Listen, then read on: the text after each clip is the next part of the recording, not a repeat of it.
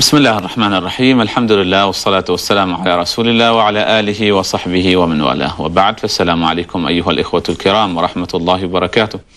وأهلا ومرحبا بكم في هذا اللقاء المتجدد الذي نطرح فيه الكثير من المسائل الفقهية وأمور الدين التي تهم الناس في يومهم وفي معادهم ومعاشهم. وضيفنا في هذا اللقاء هو سماحة الشيخ الجليل العلامة أحمد بن حمد الخليلي المفتي العام للسلطنة. أهلا ومرحبا بكم سماحة الشيخ. أهلا وسهلا ومرحبا بكم. أعزائنا الكرام وقفة بسيطة ثم نعود إليكم بإذن الله.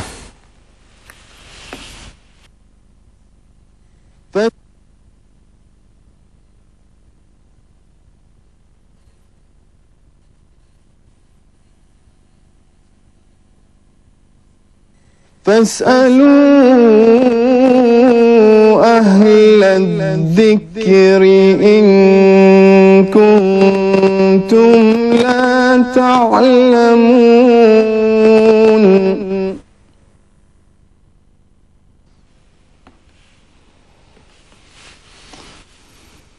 أهلا ومرحبا بكم مرة أخرى. حلقتنا اليوم حلقة عامة نتناول فيها مواضيع مختلفة وسنبدأها بما تبقى عندنا أو بما بقي عندنا من موضوع الزكاة. أرقامنا 2 4 6 9 7 6 7 0 وهناك أرقام أخرى ترونها ظاهرة على الشاشة بإذن الله. أما الإخوة من خارج السلطنة أربعة خمسة أربعة. سمحت الشيخ نريد أن نكمل ما ما بقي عندنا من مواضيع الزكاة. وبداية نريدكم أن تحدثونا عن سؤال دائما ما يطرح علينا في موضوع الزكاة وهو زكاة الأسهم.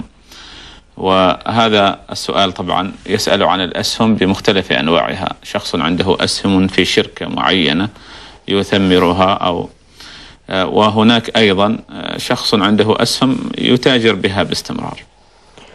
بسم الله الرحمن الرحيم. الحمد لله رب العالمين. والصلاة والسلام على سيدنا ونبينا محمد وعلى آله وصحبه أجمعين. أما بعد فزكاة الأسهم إنما تعود إلى وضع الأسهم نفسها. فإن كانت هذه الأسهم للاتجار بحيث تتبادل بيعا وابتياعا فإنها تكون بمثابة عروض التجارة فهي تزكى مع النقود زكاة واحدة بحيث تحمل على النقود وتحمل عليها النقود. وتحسب قيمتها بحسب سعر السوق وتزكى عندما يتم الحول. هذا إن كانت هذه الأسهم تتبادل بحيث لا تكون مستقرة. أما إن كانت هذه الأسهم أسهم عمل معين كأن تكون هذه الأسهم في مقاولة بناء أو في مقاولة إنشاء طرق أو في مقاولة إنشاء أي نوع من أنواع المرافق العامة فإنها ينظر فيما تأتي به هذه الأسهم. وفي الأموال الناضة أي النقدية التي تعود إليها. ولا يقال بأن كل ما اشتملت عليه الأسهم يزكى وإنما تزكى هذه التي هي في الأصل وعاء للزكاة. لأن لو رجعنا مثلا إلى الآلات آلات رصف الطرق من سيارات وغيرها. هذه أموال جامدة ليست متحركة تتبادل ما بين الناس بيعا وابتياعا وإنما هي جامدة فهي يقضى بها المصالح. ولما كانت كذلك فحكمها حكم بقية الآلات. إنما الزكاة تجب فيما تأتي به من ريع. لا في نفسها. إذ هي كما قلت ليست متبادلة متبادلة بين الناس.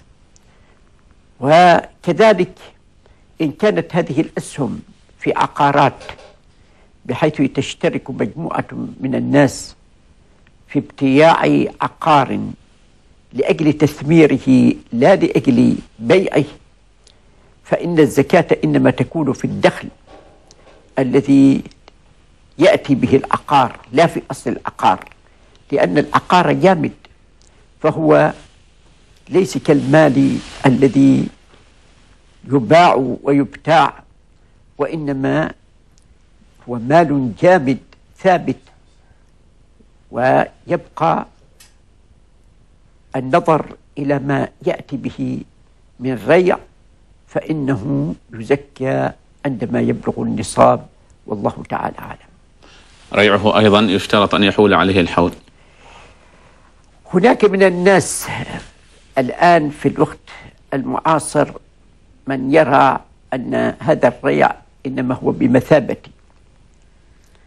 آه، الزروع أو الثمار بحيث يزكى كل منهما عند الحصاد فكذلك بالنسبة إلى الريع يزكى عند ما يدخل جيب الإنسان. هذا رأي لبعض الفقهاء المعاصرين وفي الحقيقة له وجه من النظر. نظرا إلى أن كثيرا من الأغنياء الذين عندهم أموال طائلة ربما لا يدعون هذه الأموال تستمر إلى الحول بل يصرفونها في مصارف متعددة تعود عليهم بالريع. فيتسلسل الريع ولا تكون زكاة عندما يقال لا تكون زكاة زكاة إلا عندما يحول الحول. فمن كان كمثل هؤلاء ينبغي أن يقال بأن الريع ريع هذه العمارات أو ريع هذه الأبراج أو ريع هذه المساكن أي العقارات على اختلافها تزكى يزكى فورا عندما يستلم. لأنه لو قلنا باشتراط الحول مع بلوغ النصاب ربما أدى ذلك إلى جمود أموال الزكاة أو تقليص وعاء الزكاة. فلربما كان بعض الأغنياء يقدر أن يحتال يأخذ من هنا ويصرف هنا ولا يبقى عنده مقدار النصاب.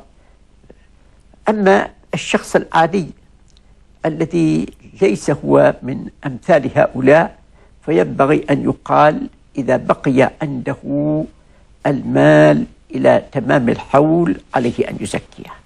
نعم. هناك مسألة أخرى أيضا تقدم بها أحد, أحد الإخوة. يقول عنده محل آه، هذا المحل فيه مجموعة من المكائن والآلات التي تقوم بصناعة العصير وغيره.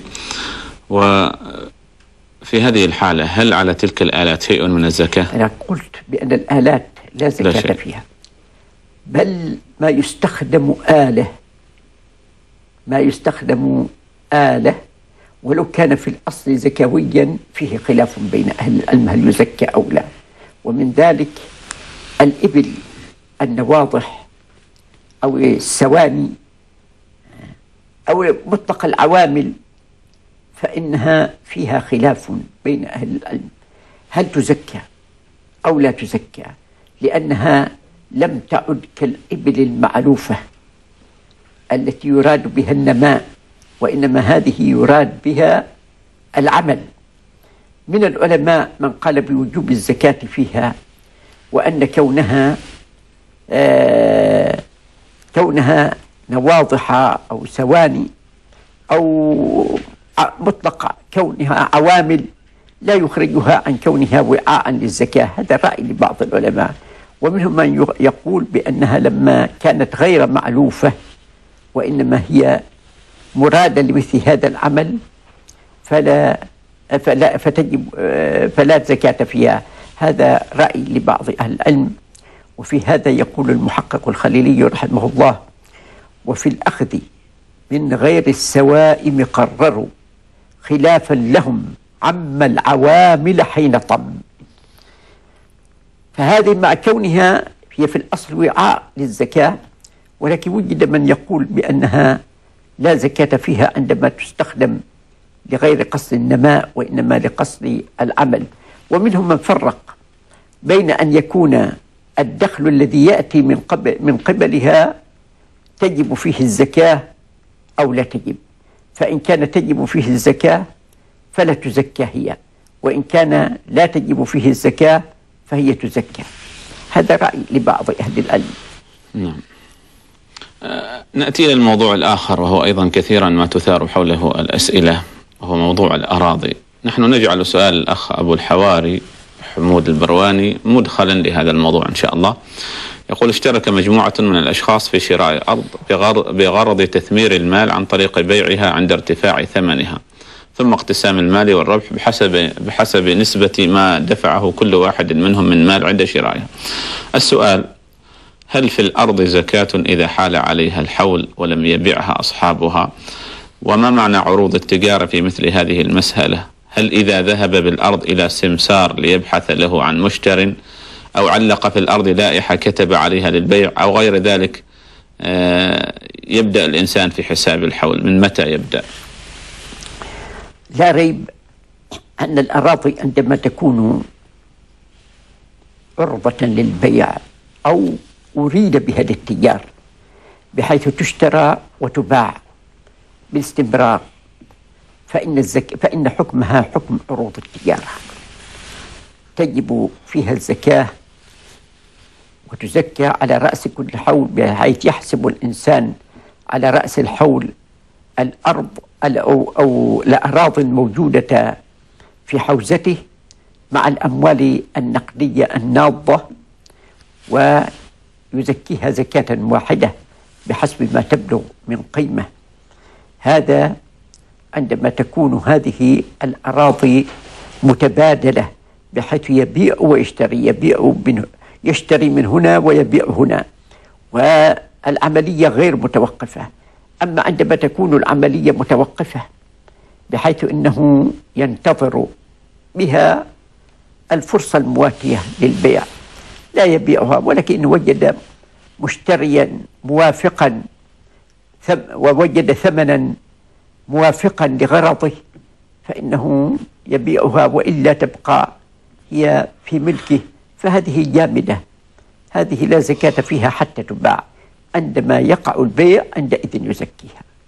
جميل. يقول الأخ أبو حفص شخص وجبت عليه زكاة ماله في مبالغ مثمرة مع أشخاص ولا يملك من المال إلا ما يشتري به مستلزمات العيد الضرورية العرفية كالملبس الجديد وغيره. ماذا عليه؟ أما هو بالنسبة إلى ما عنده فلا تجب عليه الزكاة. أما المال الذي هو عند آخرين يثبر فهو داخل في تلك الشركة شركة التثمير. فإن بلغ ما في الشركة النصاب يزكى المال مع ما يزكى لأن للشركة حكم الشخصية الاعتبارية. نعم. الأخ أحمد السيابي. الأخ أحمد. ألو السلام عليكم. وعليكم السلام. ورحمة الله وبركاته. الحمد لله الأخ أحمد. الله يعطيكم الصحة والعافية. حياك الله جميعا. والله في سؤال يتعلق بالزكاة. تفضل. زين لو الشخص تقدم حال آه، زواج من امرأة. نعم. زين ودفع الحق ودفع الحق. نعم. بموجب الحق المرأة اشترت وبعدين توفى رج- رجل المراه قبل ان ينقلها. على مضى سنة كاملة. نعم. توجب الزكاة. هل توجب على هي أو على أهل الم... آه، أهل ال- الزوج؟ هي قلت اشترت الذهب؟ هي اشترت الذهب. نعم. أيوه. وتوفي قبل العقد؟ وتوفي قبل العقد. نعم. أيوه. طيب. بعد من توجب الزكاة هل توجب عليها هي أم على أهل زوجها؟ إن شاء الله. طيب مشكورا جزاكم الله شكرا لأخ أحمد. شكرا. نحن ننبه بأن موضوعنا اليوم ليس خاصا بالزكاة فقط بإمكان الإخوة أن يسألوا عن الأسئلة المختلفة التي يرغبون فيها. آه الأخ أبو صلاح من بريطانيا يقول ما حكم أكل ما حكم أكل وبيع لحم الخيل إذا كان لا يجوز؟ وهل المهم على كل حال يقول إذا كان لا يجوز هل يباح للعلاج فقط؟ أو يستبق. في أكل لحم الخيل خلاف وأكل لحم الخيل أرخص من لحم الحمر بل ومن لحم البغال. فلذلك لا يعنف ولا يشدد على من أكل من لحم الخيل بل ولا من باع لحم الخيل. ومن باب أولى أنه يجوز استعمال لحمها للعلاج فإذا كان خلاف في جواز أكل هذا اللحم. فمن باب الأولى أن يكون العلاج يفتح باب الجواز فيه ولا يغلق. وهل هناك رخصة في أكل لحم الحمر؟ لحم الحمر فيها خلاف بطبيعة الحال فيه خلاف ولكن الأكثر المنع لأن النبي صلى الله عليه وسلم نهى عن الحمر الأهلية وعن متعة النساء عام خيبر. في هذا مفهوم مخالفة سماحة الشيخ؟ غير الأهلية تجوز؟ نعم. غير الأهلية الحمر الوحشية المعروفة هي جائزة. طيب الأخ محمود المندري الأخ محمود. السلام عليكم. وعليكم السلام ورحمة الله وبركاته. بارك الله فيكم. كيف كيف كيف حالك؟ الحمد لله الأخ محمود. عندي مجموعة أسئلة لو تسمح تفضل. السؤال الأول هناك مجموعة من الأشخاص والمسألة واقعة الآن تقع يعني. نعم. يجمعون مبالغ الزكاة ويقومون بتفصيل ملابس لأولاد الفقراء. بدعوى أن هذه الملابس أنفع للعيد يعني. هل يصح هذا الفعل؟ هذه زكاة الفطر ولا الزكاة العامة؟ لا زكاة زكاة المال. زكاة المال. أي. نعم. وهل يصح أن يعطى أبناء الفقراء غير البالغين هذه المبالغ؟ يعني مثلا في المدارس نحصل بعض يعطوهم من مال الزكاة يعطوا الأبناء. نعم. كذلك بالنسبة للصدقة هم يجمعوا مال زكاة ومال صدقة. نعم. بالنسبة يقوموا بجمع الصدقة الآن في رمضان. نعم. يفصلوا ملابس أيضا للعيد الفطر يعني للطلاب في العيد الفطر. نعم. وبعض المبالغ يدخروها إلى عيد الأضحى أو قرب عيد الأضحى فيفصلوا ملابس مرة أخرى لعيد الأضحى لهؤلاء الطلاب. طبعا الطلاب هم فقراء. نعم. فهل يصح هذا الفعل؟ طيب. السؤال الثاني لو تسمح. تفضل. هناك لوحات حائط فيها تعليم للناس الصلاة والوضوء عن طريق الصور. نعم. من طريق مصورة هل يصح تعليق مثل هذه اللوحات في المساجد؟ يعني نعم حتى لو كانت في الخلف مثلا ما أمام آه، القبلة. واضح السؤال وكذلك في المنزل. جميل. واضح؟ نعم واضح. السلام عليكم. شكرا جزيلا اخ محمود. شكرا جزيلا. بارك الله فيك. الأخ أحمد السيابي يقول شخص تقدم للزواج من امرأة ودفع لها المهر وقام أهلها بشراء الذهب لكنه توفي قبل العقد. فكيف تكون زكاة ذلك الذهب؟ أما بالنسبة إلى المهر المدفوع قبل العقد ثم حصلت وفاة أو حصل تراجع عن الزواج فإن ذلك المهر يعود إلى الزوج لأنه لم يكن هنالك عقد ما بين ما بين الرجل والمرأة. فلذلك يعود إلى الزوج ولئن كان مات هو فإنه يعود إلى ورثته. فعلى هذه المرأة أن ترد الذهب إلى أهل هذا الذي اتفقت معه على الزواج وهم يتصرفون فيه والزكاة إنما تجب عليهم. إذ لا يعنيها من زكاة ذلك الذهب شيء لأنه لم يتحول إلى ملكها. بحيث لم يقع العقد بينهما بعد. نعم. الأخ محمود يقول هناك مجموعة من الأشخاص يجمعون مبالغ الزكاة ويقومون بتفصيل الملابس للأطفال ليوم العيد. هذا التصرف مشروع. بالنسبة إلى الذين دفعوا الزكاة هم دفعوا نقودا ولعل الزكاة هي زكاة النقود. وأما بالنسبة إلى الذين أخذوا الزكاة فهم حسب ما يبدو محتسبون في النظر في مصالح هؤلاء الأطفال سواء كانوا يتامى أو كانوا غير يتامى ولكنهم فقراء مستحقون للزكاة. فلما كانوا بمثابة المحتسبين وكانوا أمناء في عملهم فلا مانع من أن تراعى مصالحهم. إن كانت المصالح متعينة فيما يقومون به بحيث يدفعون إليهم أثوابا لأنهم بحاجة إلى هذه الثياب. ويخشون لو سلمت هذه النقود إلى أوليائهم أو أوصيائهم القائمين بشؤونهم ألا تصل منفعتها إلى اليتامى أو أن يقصر في الحفاظ عليها فلذلك قاموا هم بهذا العمل ففي ذلك خير ولا حرج عليهم فيه إن شاء الله نعم وكذلك بالنسبة لمال الصدقة طبعا هو أيضا ذكر نعم، مال الصدقة. نعم. نعم. نعم يذكر أيضا لوحات حائط فيها تعليم الصلاة وفيها صور هل يصح تعليقها في المسجد أما بالنسبة إلى الجهة الأمامية فيجب أن تجنب جميع الصور. ذلك لأن هي جهة الاستقبال والمصلي عندما ينظر إلى هذه الصور قد ترتسم في ذهنه وتشغله حتى في صلاته ولو لم ينظر إليها في الصلاة. على أن من الناس من لا يخشعون في الصلاة فهم لا يبالون إذا كانت أمامهم صور أن يرفعوا إليها أبصارهم بحيث يتعدون بأبصارهم مواضع سجودهم لعدم تأثير الخشوع عليهم. فلذلك لا يجوز أن تكون في الجهة الأمامية.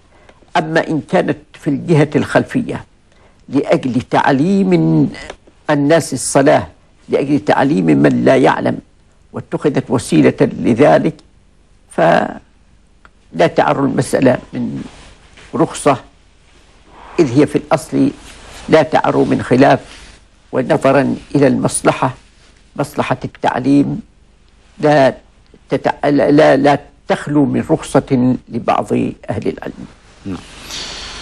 الأخ حمود العامري. الأخ حمود. السلام عليكم. وعليكم السلام ورحمة الله وبركاته. عندي بعض الأسئلة لو سمحت. تفضل الأخ حمود. أسأل عن تربية الحيوانات مثل الأسماك أو الطيور داخل المنازل. نعم. طبعا تكون محبوسة في أقفاص أو أحواض ما شابه ذلك. نعم. هل ذلك جائز؟ نعم. كذلك بالنسبة للحيوانات حدائق الحيوانات يعني يكون فيها حيوانات كثيرة يعني محبوسة داخل الأقفاص. هل هذا جائز وجائز زيارتها؟ نعم. آه، كنت سألت سؤال سابق بالنسبة للزكاة. آه، بالنسبة لتعيين الفقير أو أو المسكين وقلت بأنه يكون لديه يعني أصول أحيانا ولكن لا ليس لديه سيولة نقدية. يمكن تكون لديه أرض تبلغ يعني عشرات الآلاف أو مئات الآلاف قيمتها ولكنه كنقود لا توجد لديه ولا يوجد لديه دخل. نعم. هل هذا يعد مسكين أو فقير؟ نعم. آه، سؤالي الأخير بالنسبة لزكاة الفطر. نعم. هل يجوز الإنسان أن يشتريها من فترة يعني ويعينها بأنها زكاة الفطر ولكنه لا يخرجها إلا في الوقت المحدد أو أنه يدفعها لمن يخرجها وذاك الشخص لا يخرجها إلا في ذلك الوقت المحدد المناسب يعني. نعم. ذلك جائز إن شاء الله. بارك الله فيك. شكرا لأخ حمود بارك الله فيك. من الموقع يتحول بنا هذا السائل هذه المرة إلى مسألة أخرى لا تتعلق بالطلاق لا تتعلق بالزكاة وإنما بالطلاق. يقول الأخ محمود محمد الريامي يقول إذا إذا امرأة إذا أصرت امرأة على طلب الطلاق وبدون سبب وألحت في الحصول على حريتها وبأي ثمن ثم تعهدت في ورقة موقعة منها ووليها آه، كشاهد بأنها لا تطلب بأي لا تطالب بأي شيء من زوجها ثم طلقها علما بأن بينهم أطفال وقد وقعوا الضحية عند إصرار الأم. في حين أن الأب حاول دون وقوع أبغاض الطلاق لكن مع إصرارها وإصرار وليها وقع الطلاق. آه، هل يحق لها العدول عن هذا الاتفاق ولو بعد مضي أشهر وتطالب سواء بصداق متأخر ونفقة للأطفال؟ وهل يلزم آه، الذي طلقها أن يوفر لها مسكنا في حين أنها تمتلك منزلا عصريا؟ وقد كانت الحياة الزوجية قائمة في منزلها وبرضاها ورضا وليها. أما بالنسبة إلى هذه المرأة لما كانت هي المطالبة بالانفصال ولم يك- يكن هذا بسبب تقصير من الزوج إذ هو موف لها جميع الحقوق الزوجية سواء المادية أو المعنوية فلا حرج على الزوج في أن يقبل منها الفدية أو يكون بينهما البرآن بحيث يبرئ لها نفسها في مقابل أن تبرئه من صداقها. وبعد ذلك لا تحق لها المطالبة. أما إذا كان ضايقها وألجأها إلى هذا بسبب سوء معاملته فلا ريب أنه لا يجوز له أن يأخذ شيئا مما يأتيه من قبلها ولو كان يسيرا. ولا يجوز له أن يسترد شيئا من الصداق الذي دفعه إليها.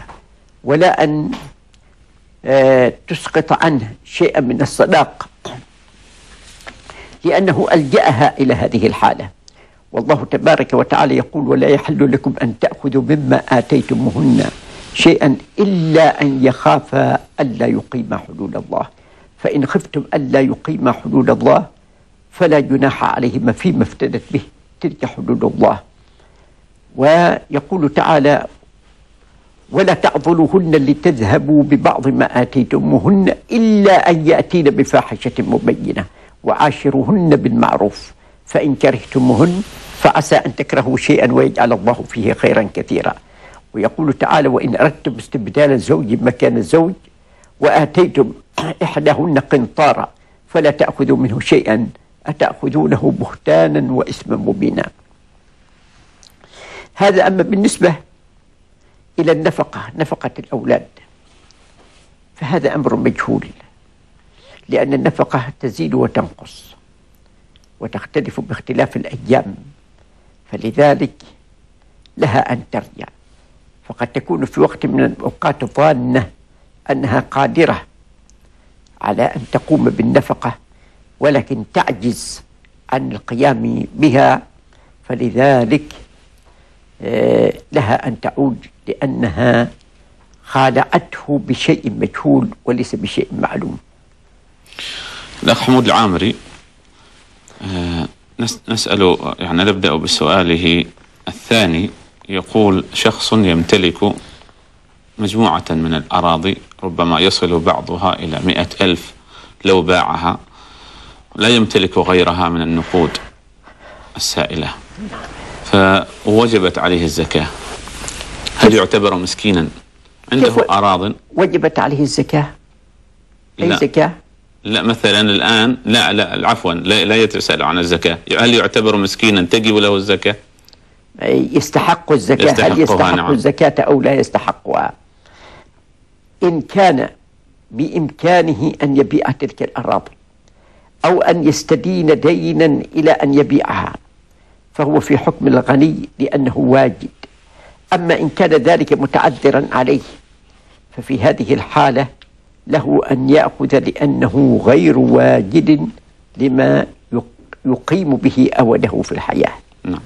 يسأل أيضا عن تربية الأسماك والطيور في المنازل وهي محبوسة. الأصل في الحيوانات أن تعطى حريتها. ولا أجد ما يدعو إلى أن تحبس في الأقفاص وأن يت- يتفرج عليها. هذا إن كان القصد التفرج عليها. أما إن كانت هناك منفعة بحيث يتعلم منها علما إذ يستعملها لشيء من من الخبرة العلمية أو يستعين بها في قضية في قضاء بعض المآرب كالصيد مثلا فلا حرج في أن تحبس من أجل هذا الغرض فللإنسان أن يستعمل الصقر من أجل الاصطياد به. وأن يستعمل غيره من الطيور الجارحة لأجل هذا الغرض وإنما مجرد التفرج. ففيه حبس لهذا الحيوان عن أن يأخذ حريته في الحياة. وقد يحبس الذكر بدون أنثى وتحبس الأنثى بدون ذكر. وكل من الذكر والأنثى لا يستغني أحدهما عن الآخر. فما كان ينبغي ذلك. نعم. الأخ علي الراشدي. الأخ علي. نعم السلام عليكم. وعليكم السلام ورحمة. الله وبركاته. الحمد لله نشكر الله. الله يعطيك الصحة والعافية. فاك الله الأخ علي. آه، سؤالي آه، عن فطرة الأبدان يعني ما كم وزنها؟ كم يكون بال- بالأرز يعني وزنها؟ هل هو آه، كيلوين و200 يعني أو أكثر أو أقل؟ تستمع إلى ذلك إن شاء الله. السؤال الثاني آه، آه، إذا خرجت الفترة هذه في شهر شو- يعني قبل لا يهل شهر شوال نعم. في رمضان يعني هل تعتبر صدقة أم تعتبر فطرة أبدان يعني إذا مثلا خرجها قبل صاحب يعني الصايم؟ طيب شكرا. شكرا لأخ علي بارك الله فيك الله.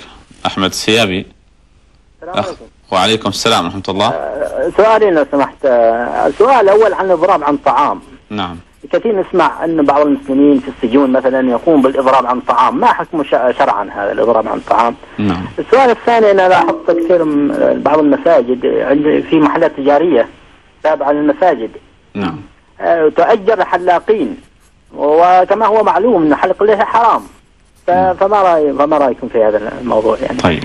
شكرا جزيلا. شكرا جزيلا لأخ إبراهيم. أخ إبراهيم المغيري.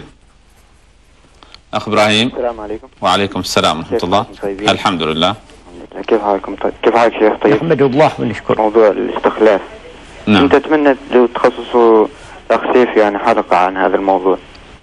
جميل. إن شاء الله إيه، نحاول. إذا ضاق الوقت اتمنى تأجيل هذه الأسئلة للحلقة القادمة. إيش السؤال يقول السؤال آه، كيف يستخلف الإمام في السجود والركوع؟ كذلك التحيات. نعم. يعني ما ماذا يصنع المستخلف؟ نعم. آه، السؤال الثاني يعني آه، هل يتحدث ال- المستخلف اللي هو الإمام؟ المريض هل يقول تقدم فلان؟ نعم. أو تقدم فلان؟ نعم واضح. السؤال آه، كذلك إذا إذا رفض إذا رفض الذي عينه الإمام رفض. نعم. يعني أن يتقدم. وحصل خلاف أو ما شابه ذلك. هل يتقدم أي واحد يعني لتكملة الصلاة؟ جميل. أيوه. طيب الأخ إبراهيم. أحسن. شكرا جزيلا لك. شكرا جزيلا. الأخ حمود آه، بقي له سؤال. آه، يقول هذا شخص اشترى زكاة الفطر وأحرزها وطبعا يخرجها في نهاية اليوم يعني عندما يهل الهلال يصح هذا أن يشتريها قبل؟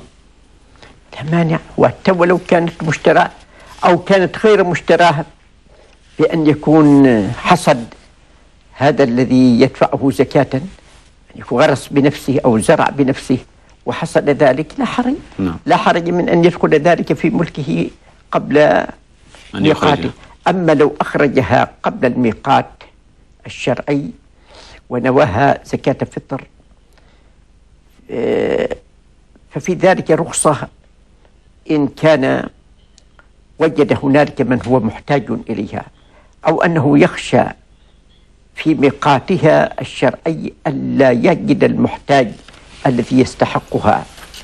ولكن اشترطوا في أن يبقى هذا المعطى بصفة الاستحقاق إلى أن يأتي ميقات وجوبها.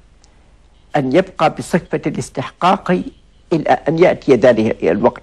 ومعنى ذلك أنه لو مات المعطى قبل استحقاقها قبل أن يهل هلال شوال بناء على القول بأنها تجب بهلال شوال أو قبل طلوع فجر أول يوم من شوال أو قبل آه، شروق الشمس أول يوم من شوال على حسب الاختلاف بينهم متى تجب.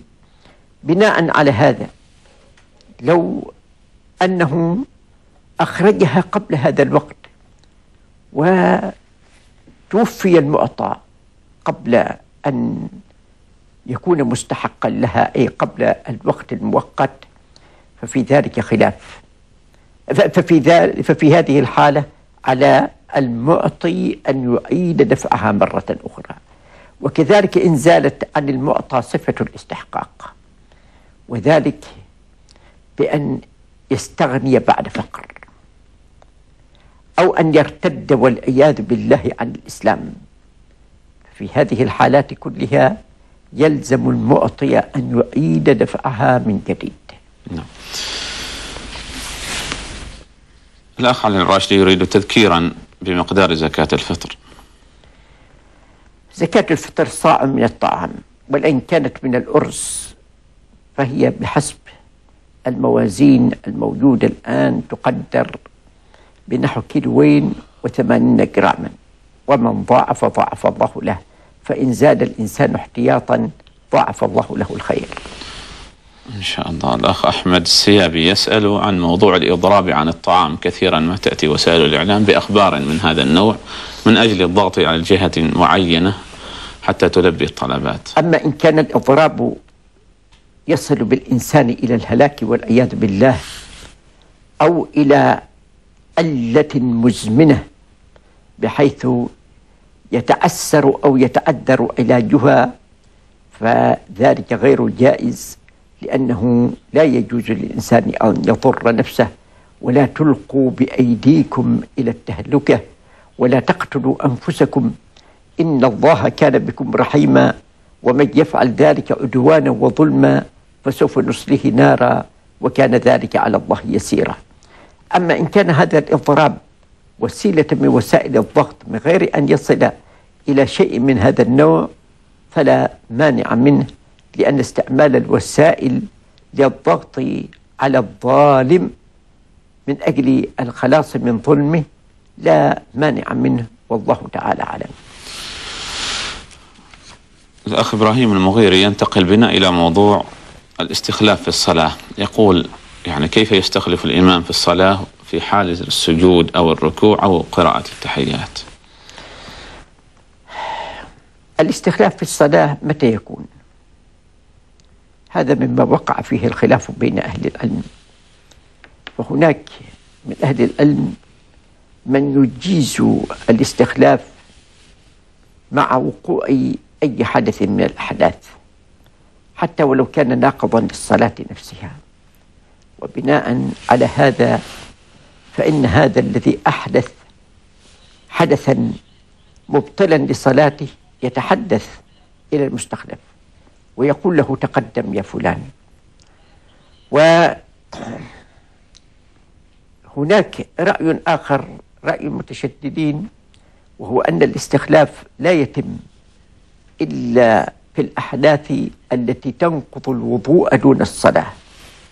وذلك كالقيء والرعاف أنهما ينقضان الوضوء دون الصلاة وأن المصلي ينفلت بهما من صلاته ويتوضأ ويبني على صلاته السابقة.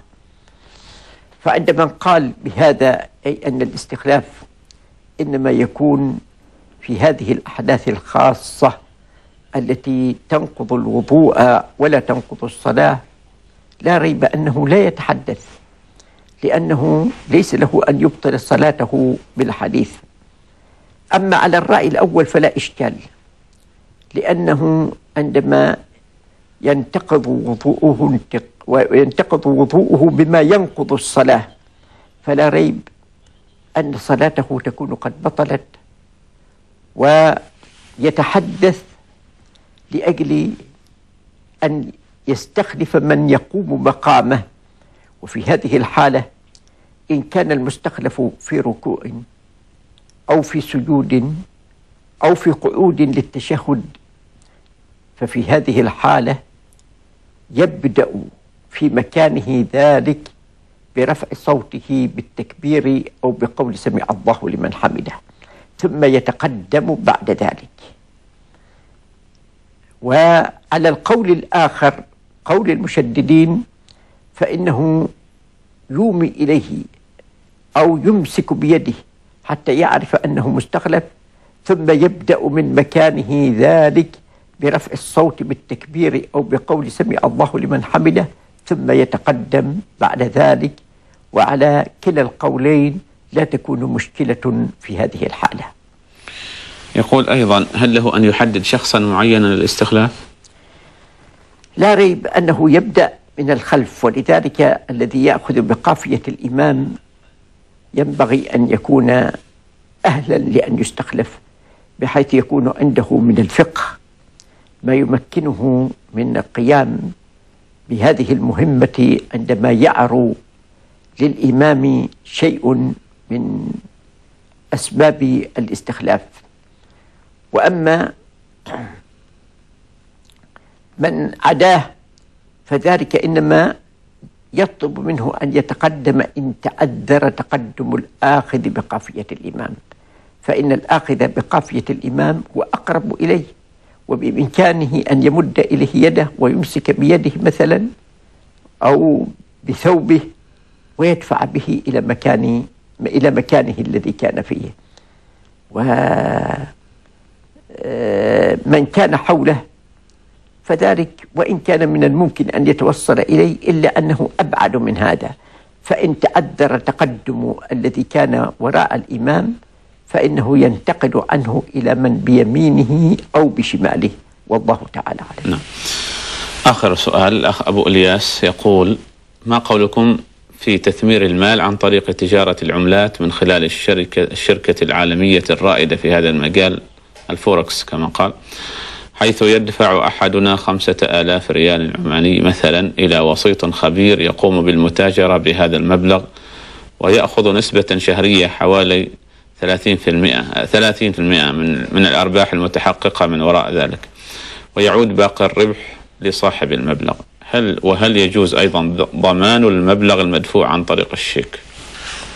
أما بالنسبة إلى هذا العمل فإن هذا العمل لا ينبغي أن يقوم به إلا الفقيه الورع القادر على الاحتياط من المزالق حتى لا يقع في شيء من الربا ولا في شيء من شبهات الربا لأن الصرف كالبيع يجب أن يكون يدا بيد وهذا ما يؤذن به حديث عمر رضي الله عنه في قصة طلحة عندما قال حتى يأتي خازني من الغابة وأخذ يقلب الذهب فقال عمر رضي الله عنه لا أبرح مكانكما فإني سمعت رسول الله صلى الله عليه وسلم يقول الذهب بالورق ربا إلا ها وها إلى آخر الحديث. فقوله هذا دليل على أن الصرف له حكم البيع وكما أن البيع في ما كان من جنس واحد يجب أن يكون يدا بيد فكذلك الصرف أيضا ولا تجوز النسئة في ذلك فإن النسئة في مثل هذا تكون آه، سببا لتحقق الربا والعياذ بالله تعالى. فمن كان إذا واقعا تحت هذا الأمر عليه أن يحتاط كل الاحتياط وأن يكون ورعا في دينه وأن يكون متفقها في دينه قادرا على فهم الشبهات لأجل اتقائها فضلا عن المحارم مع التقيد بالجائز دون غيره. وأين الشركة التي تتوافر فيها هذه الصفات بحيث يكون قائمون عليها فقهاء؟ أمناء ورعين ملتزمين فلا يجوز ذلك والله تعالى أعلم. جزاكم الله خير سماحة الشيخ. شكرا لكم.